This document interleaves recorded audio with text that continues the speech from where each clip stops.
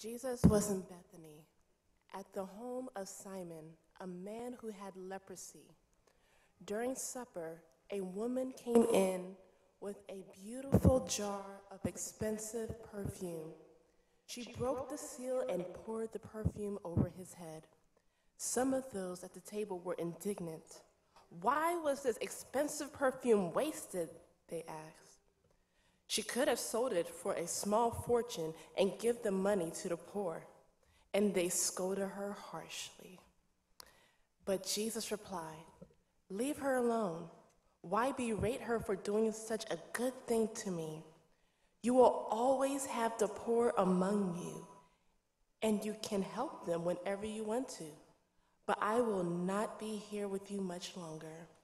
She has done what she could and has anointed my body for burial ahead of time. Jesus knew that the Father had given him authority over everything and that he had come from God and would return to God. So he got up from the table, took off his robe, wrapped a towel around his waist, and poured water into a basin.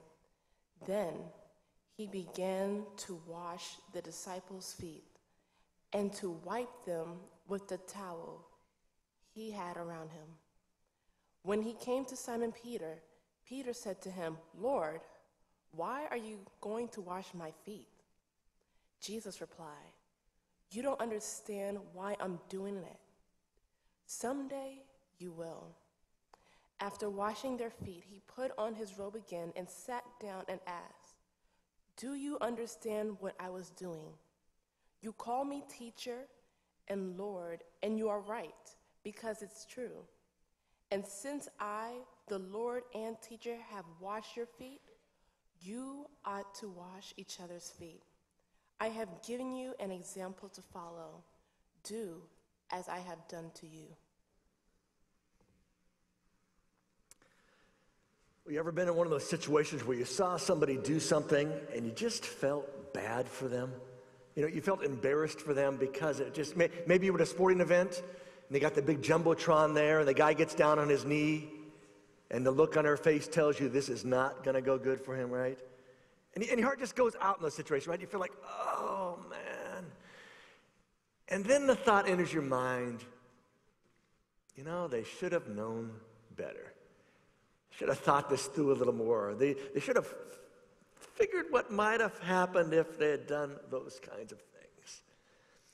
Uh, we've all probably had those things where we just felt bad for somebody, and then we thought, well, you know, probably kind of deserved it the way it ended up. And we've probably also had those moments when, when we felt embarrassed for ourselves because we didn't step up and help out. You know, somebody, we're at the grocery store and somebody slips and we think, oh, I ought to help them. And thankfully somebody else comes along and helps them. And we, we kind of think, I probably should have done that. I probably should have held the door open longer with a, the little lady there with all of her groceries. Or I should have helped clean up, you know. Or maybe you're the one that drops that thing in aisle five and just slowly walks away, hoping nobody saw that you were the one doing it. A few minutes later, you walk past aisle five, and there's the, you know, the teenage boy making minimum wage who's down there cleaning up all the mess that you've made. What do we do in those embarrassing moments? Those moments that somebody does something that just our heart goes out to them, and sometimes when we think about ourselves. And what do we do in the moments of life? When those embarrassments are bigger, have much more impact. Today, we're going to look at those two stories that you heard read. Two stories of extravagance. Two stories where somebody steps up and does something that makes so many other people in the room feel uncomfortable. And somewhere in those stories, there's a touch point for all of us. Because we've all felt uncomfortable in a room because of what somebody else has done. But before we jump in there today, I invite you to bow your heads and let's pray uh, one more time together, right? Lord, in this room today, we all have had that experience. those embarrassing moments, those times we felt so bad for somebody else or felt our own embarrassment. And while we don't believe that you're a God who seeks out to embarrass us, we do know there are times when those things happen and you allow those things to happen to work in our lives to help us to stop and think and maybe see some things a little bit differently. And I just ask today as we look at these two old stories from your life, Jesus, these moments where somebody did something for you and when you did something for someone else,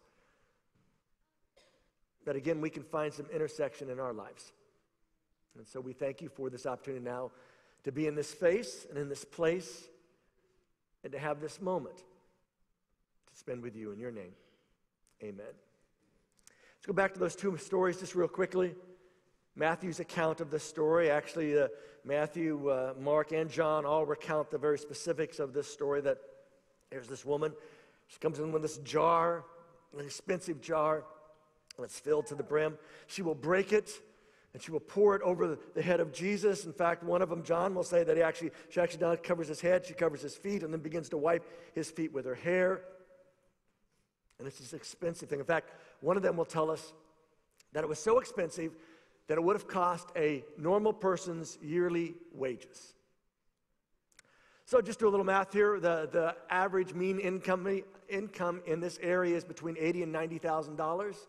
Don't do any comparisons at the moment. Just, just think about that for a second. U.S. is somewhere around fifty thousand dollars. So let's go with the lower number, fifty thousand, because it's just easier.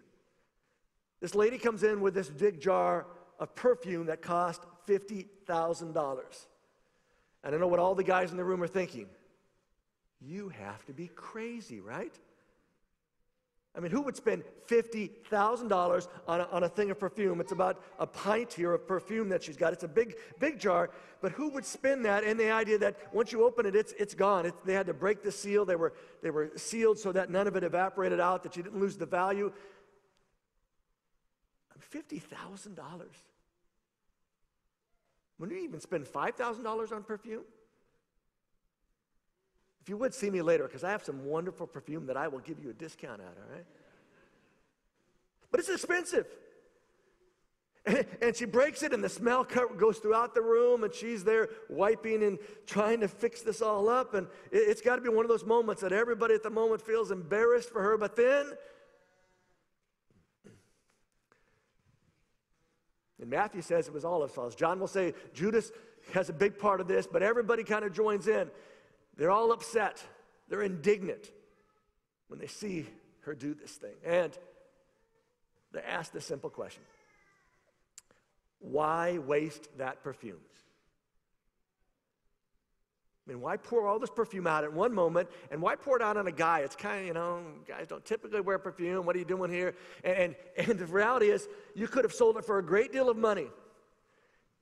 The money could have been given to the poor. It was one of those extravagant moments, excessive moments, wasteful moments. And of course, Jesus, he's knowing what's going on. He knows what's going through their minds. He hears them ask these questions. He hears them attack this woman, and he simply says, Why in the world are you troubling her? Why are you criticizing her? She did an excellent thing for me, a beautiful deed for me. Because you will always have the poor with you, but I will not always be here.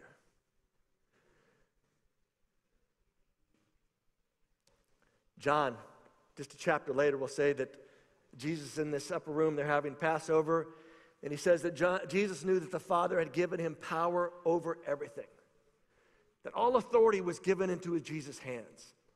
He knew his status, he knew who he was before God. He knew his mission, his purpose. He knew what was happening, going to come to an end now. And he says, because of that, just, just a, a verse later, because of that, Jesus stands up during the meal and he takes off his outer robe. And this is not just taking off a, a jacket so he can get to work. This is the idea of a rabbinic robe, a status symbol that Jesus was the rabbi that were people were following. And so when he takes off that robe, he's laying aside this I'm the rabbi everybody wants to come listen to. And he takes a towel and he wraps it around his waist. He begins to pour water in these basins and begins to wash their feet. And you remember the story. If you're not familiar, go back and look at it this afternoon. But, but you know, they begin to say, no, no, can't do this because they know what's going on. How can somebody like him use those hands to wash my dirty, stinking feet? These are hands that have touched people's eyes and they've been able to see.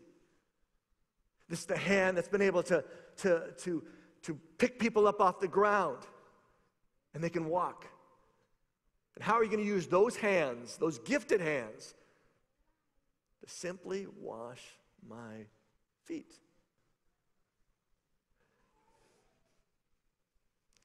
And Jesus will finish that section by simply saying, I did this as an example, as a pattern, so that you should do as I have done for you. And if you've been here the last few weeks, you know that I've told you that these aren't, this, these stories from Jesus' life aren't necessarily teaching stories, they're just events that happened. But here's some observations that I think are worth us looking at for a moment today. And the first one is this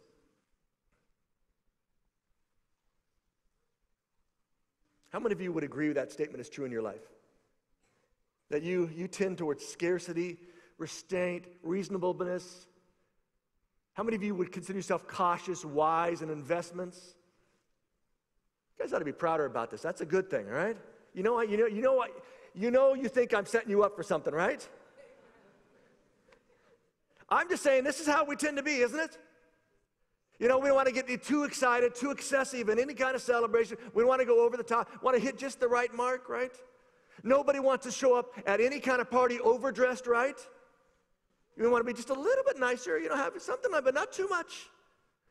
Because you don't want to stand out too much. You don't want to be excessive. You don't want to be considered wasteful. But not only do we tend towards those things,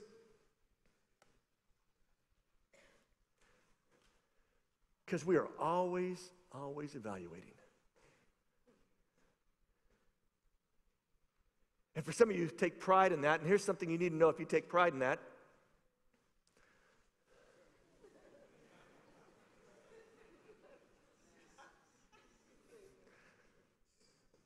Now, some of you think it is. You like to call it discernment, which is simply your excuse to be able to be real critical of somebody else and criticize them and say, well, that's not how I would have done it. Why, why do you think they did that? Let's think, why do you think that happened? You I don't know, but let's just think.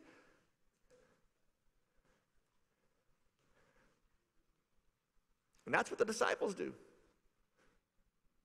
Judas is there, and Judas is a big voice of this, but it's not just him, it's the rest of the guys. And begin to come down on this woman because she has been wasteful.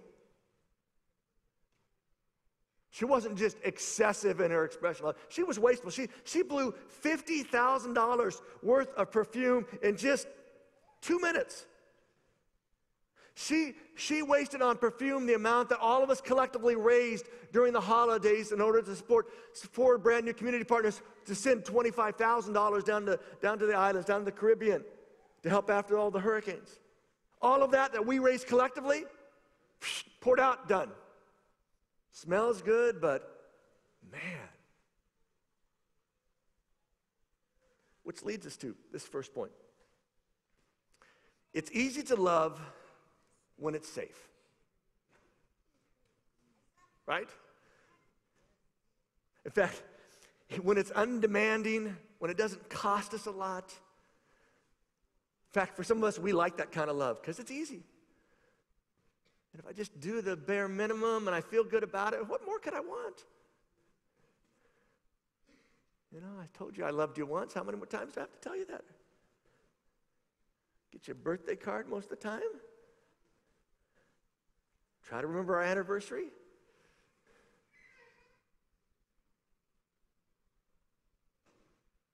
But as you see this woman get down and go to this extreme, in expressing something that has gone on in her life, it is so easy to miss the depth of her love and how she couldn't contain that love. and how she was willing to be embarrassed, dramatically embarrassed, openly embarrassed. Because you know, people went out of this, this event and talked about her for years to come, right? Because it didn't matter that Jesus said, leave her alone. Some people were like, well, uh, you know, you should have seen what she did. I mean, in the audacity of it, this was back when a woman who wasn't married to a man didn't touch that other man. There were no PDAs back then of any kind, but especially this kind. Something else.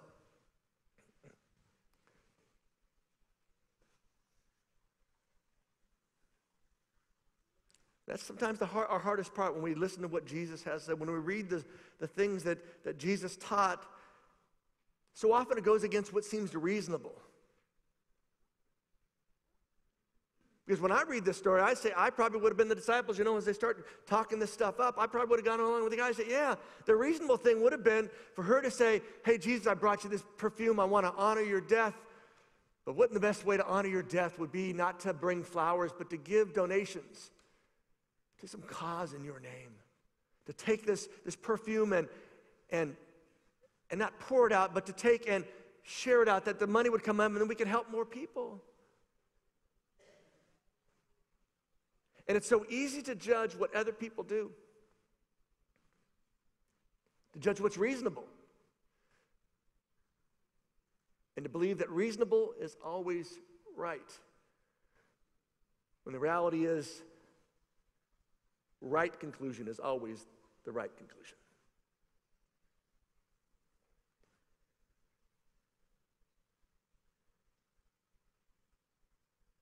When I read this story, it makes me stop and wonder how far is too far for me in expressing my thankfulness to God, my thankfulness to Jesus for what he's done for me. Where's my limit? Where's my line that I say, I'll go up to this, but I won't, I can't, I couldn't go any farther because it'd be embarrassing. It would be critiqued. It would be talked about.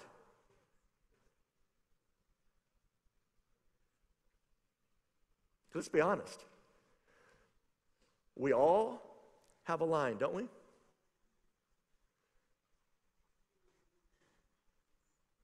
And some of us feel good our lines are farther than everybody else, and that's part of our problem is that we compare ourselves to others. And here's the crazy thing about, about this. is that everybody in this room, everybody watching online, all of us have power. Once you raise your right hand and say after me, I have power. Yeah, some of you believe that. I can hear it in your voice, right? Some of you like, Mike, I don't know if I have that much power. The reality is, you have power. There, you, you are in rooms at some point every week that you have ultimate power in. You may be the boss and you got employees, you have power. You may be in a relationship and it's clear that you're the one with the power. You may be a teacher and you like that power.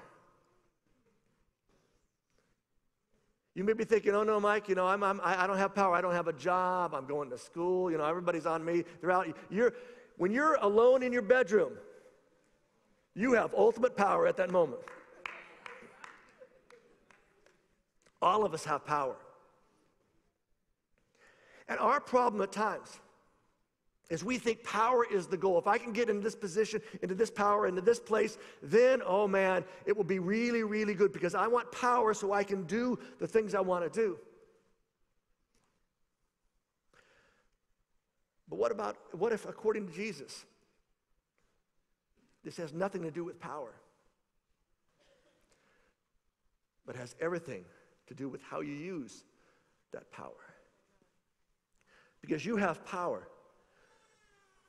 The question for you and the question for me is what will I do with that power? Because as John remembers this story, he says Jesus walks into that, that room that night and he knows he has all power. All authority has been given him by God. And he knows that whatever he does that night will not affect his status with God. And maybe that's the thing that he understands that we sometimes don't understand. Because if I lower myself, as the language we use, if I do the dirty work, what will people think? I'm not supposed to be. I'm supposed to be here. I'm not supposed to be down there cleaning somebody else's job. And what might people think?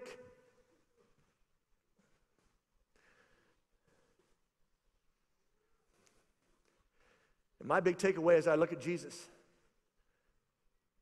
and what he was trying to communicate to his guys that evening is simply that.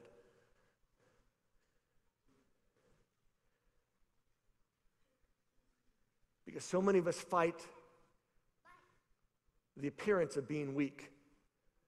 So many of us fight the appearance of not having power. So many of us fight being the one that's serving instead of being the one who served. And if you don't get anything else today, make sure you don't miss this because that's how Jesus lived his life. Over and over, he kept trying to tell the guys, guys, you keep wanting positions of power. You keep fighting over which one of you is going to be the greatest. You bunch of idiots, I'm the greatest. But you guys keep fighting over it. And you think if you just get close enough to me, that my greatness will rub off on you, and so you're going to be great? This is not how my kingdom works. This isn't about getting power so people will wait on you. This is about you waiting on people because you have power. And you need to use that power to do that.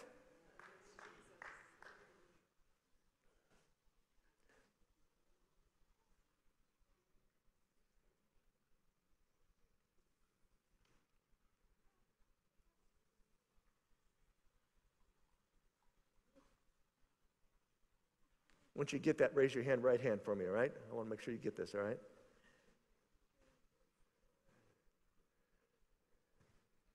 Raise your right hand, Sandy, for me. Thank you, Sandy. Yeah.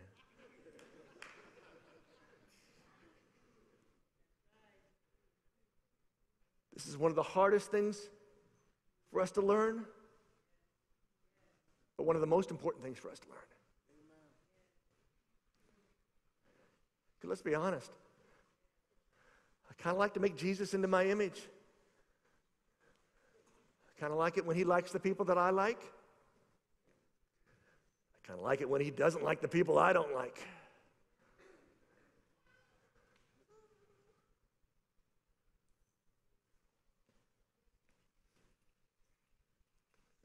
For me, this is the thing that always draws me back to Jesus. Always reminds me of the right space and the right place for my life. That it's about me getting in the right relationship to Him, not Him getting in the right relationship to me.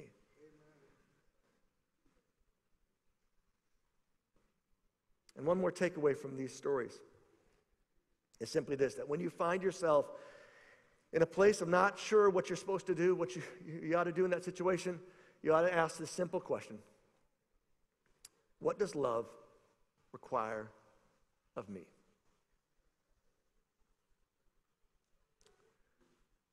Say that with me. What does love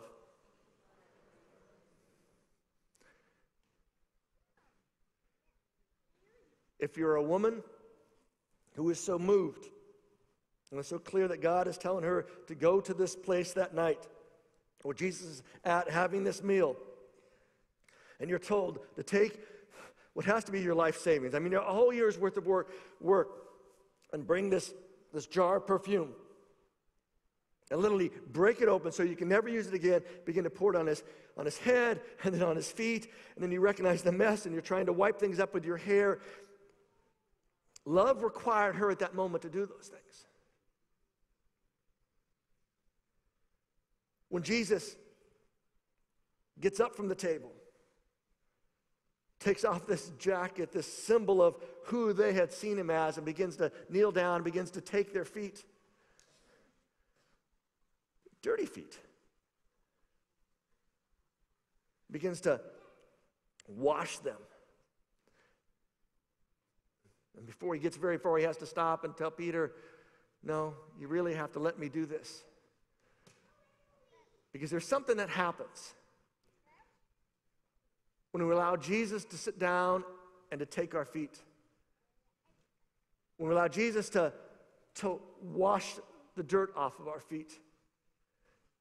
And when he tells us we ought to do this for other people, there's something insightful that is so easy to miss. And that's simply this that your faith journey is not simply your faith journey. Your faith journey is our faith journey. And when Jesus says, I'm asking you to wash each other's feet, he's saying, you need to recognize this is something you can't do for yourself. You cannot clean your own feet. Because this is more than just I can kneel down and do this. This is no, you need somebody else doing this because you need to recognize you can't fix all those things in your life. And you need to do it, you need to wash their feet because that's not only good for them, it's good for you to recognize that I'm there to try to keep cleaning, help clean things up, help clean things up, help clean things up. In just a moment, I'm going to invite you to, to uh, follow the directions of our deacons, and you're going to come from the back and come down front and grab some uh, the bread and the juice for our chance to celebrate communion here in just a few moments. But here's the thing I want to encourage you to have in your mind as you take those steps today. Simply ask yourself that question. Because what love requires of you may not be what love requires of me. And what love requires of me may not be what love requires of you. And what love requires of us is for us to recognize how much we need each other and how we're in this together and how we can be helpful or hindering to not only our journey, but to their journey.